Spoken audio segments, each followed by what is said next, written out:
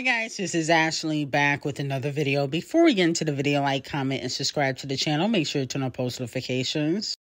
So, um, Nicki Minaj and Champagne Thickums' new collaboration is coming out August 25th. Okay, so this week, um, he is dropping for all the dogs, okay? And then allegedly, um, word on the street is that Nicki is dropping her lead next month, possibly. Okay. Um, hopefully things don't get pushed back because you know Nicki, she be you know changing stuff last minute, but um, allegedly her lead is coming next month. You know, I would have liked if she had performed a lead at the Video Music Awards, and she still could possibly, but I think that would be a reach considering that it's, you know, the 12th is the award show. Um, and I don't know if she's going to drop it before the 12th, but I definitely, definitely think that Nicki should um, attend the Video Music Awards. Okay. Um, she's in the lead for voting for two awards um, best hip hop video, best R&B video. So she's definitely going to win some awards. And then also her and Champagne Thickums um, have made history. Champagne Thickums and Nicki Minaj officially hold the record for most monthly listeners in Spotify history for a female rapper um, and male rapper. Okay, so congratulations to them. You know, that's why we call Nicki, Champagne Thickums, and Wayne the big three okay, because they put up the stats. Not only that, um, Champagne Thickums has um dropped his art cover for his next album called For All the Dogs. And Nicki posted the art cover. The art cover is trash. It's is terrible. I understand that Adonis, when he went to kindergarten class, um, you know, Champagne Thickums clearly took one of his pictures and said, "Oh, let me make it an art cover," which was a stupid idea um, because it just shows that you kind of being cheap. Um, you don't have any creativity, um, and you should have just put this on your refrigerator and call it the day. Um, this don't even look like a dog to me. I was like, what is this supposed to be? No shade. Um, and I understand that a kid drew it, but like I said before, he could have just kept the picture and put it on his refrigerator because his last art cover, um, you know, certified F boy, um, was trash too. All those pregnant emojis, that was corny.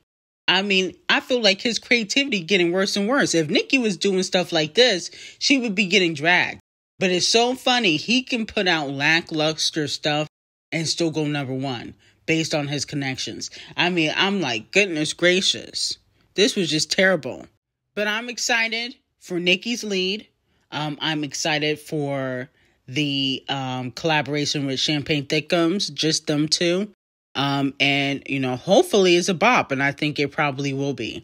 Now, moving on to Doja, um, aka Scarlet, okay, because, you know, she's in her alter ego era. Um, allegedly, she got more songs throwing shots at female rappers. Okay.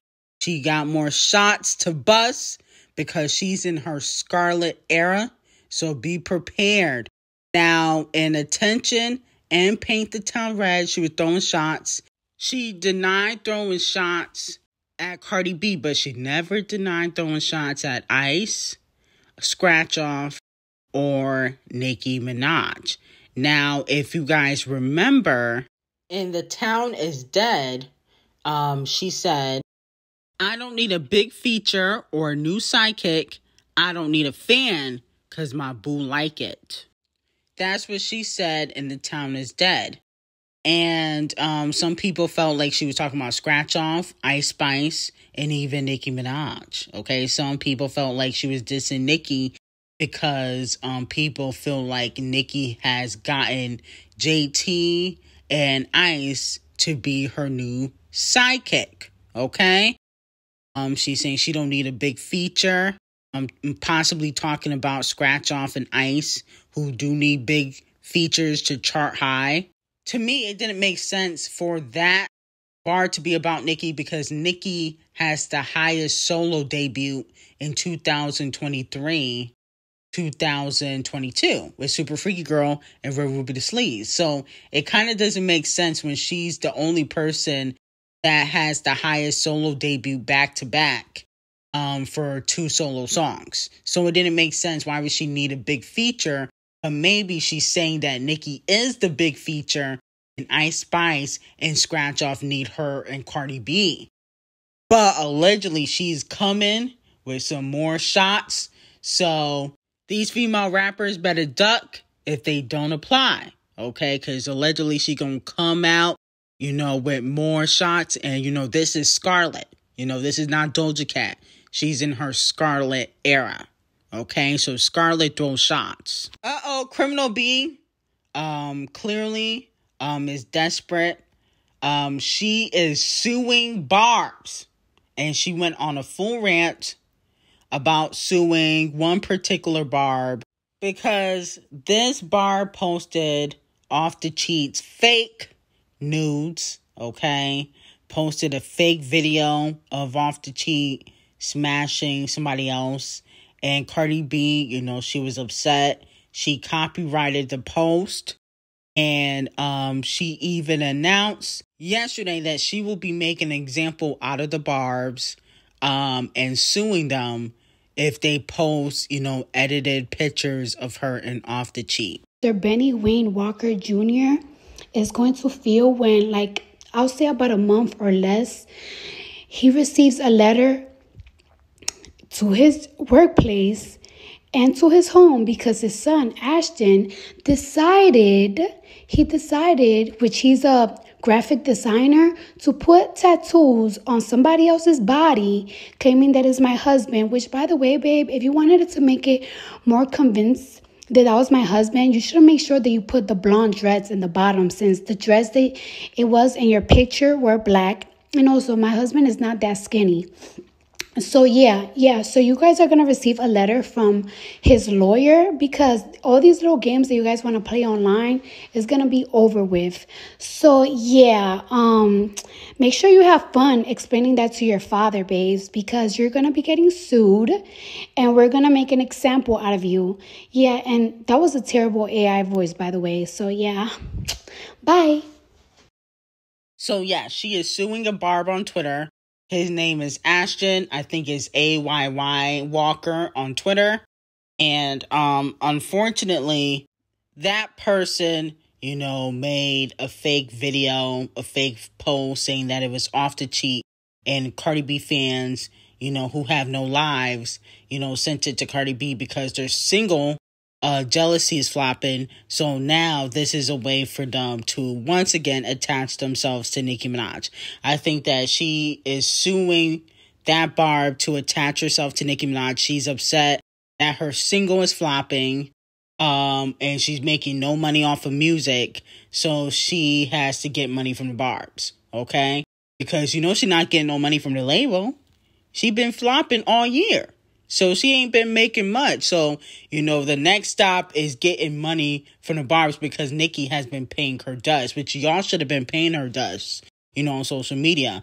But because y'all was trolling her, now she gonna get that coin. So, Scratch Off and Davido performed their flop single, um, the Unavailable remix. Now, the original is fire, but unfortunately, he put Scratch Off on it which made it a negative zero. Um, that was my rating on it. And with that being said, um, they decided to perform it, and the crowd was kind of dead.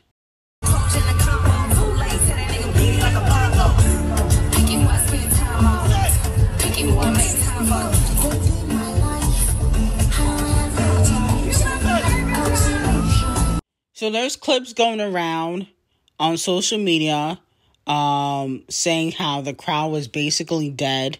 And then, you know, she posted um, the crowd on her Instagram. And I'm like, all those people were there and they wasn't really screaming for you like that.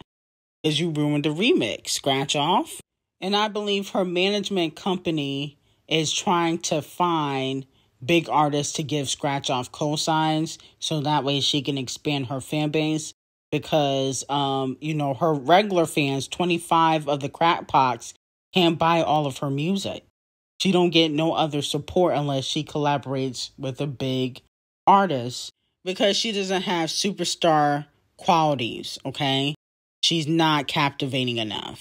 So rihanna um gave birth to a baby boy um and it was born august 3rd congratulations i guess I mean, I don't know if I really care. I don't know why people care. Okay, she's she hasn't done no music, so unless we discussing music, I really don't care about Rihanna like that. No shade. Unless it's a Nicki collaboration, she put out an album. Like I have no reason to care about Rihanna getting pregnant every year.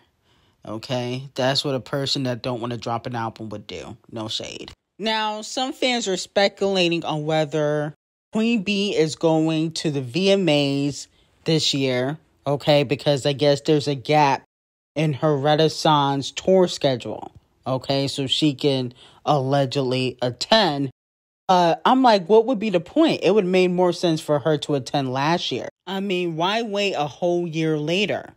And then some fans are saying that allegedly, um, you know, the only reason why she performed at the Oscars is because Will Packer, um, the producer, asked her to, and that she has um, made a pact to not really do a lot of award shows or go to a lot of award shows. I guess she is boycotting.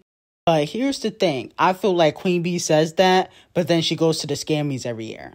Okay? So if you're going to boycott award shows, boycott all of them. Don't just boycott you know, the EBTs, you know, the AMAs and the VMAs, and then go to the scammies. Because you got 30 scammies and you go to the scammies every year. Uh, I don't want to hear, oh, I'm boycotting. Okay, no, no, no, no. You go to award shows when you believe that you're going to win okay? When you get tipped off that you're going to win, and Clowngate already put you on blast for doing that the VMAs in 2016 when you said you wasn't going to perform unless you win Video of the Year, okay? He already put you on blast for that. So I'm on to you. But anyway, I got some hot tea on Patreon. Link will be in description. I will see you guys in the next video and have a great day.